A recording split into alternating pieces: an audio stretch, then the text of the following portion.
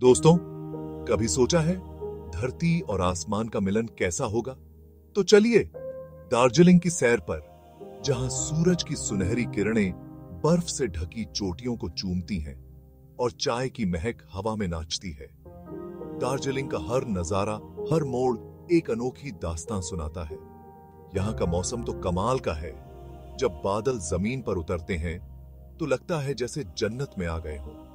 और वो toy train की सवारी। हरे भरे पहाड़ों के बीच से गुजरती ये ट्रेन आपको बचपन की मीठी यादों में ले जाएगी।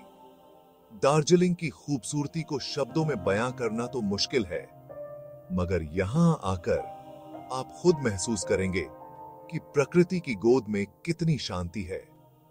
तो दोस्तों, अगली छुट्टी में दार्जिलिंग की जादुई वादियों में खो जाइए। दार्जिलिंग जहाँ हर पल एक रंगीन तस्वीर बन जाता है।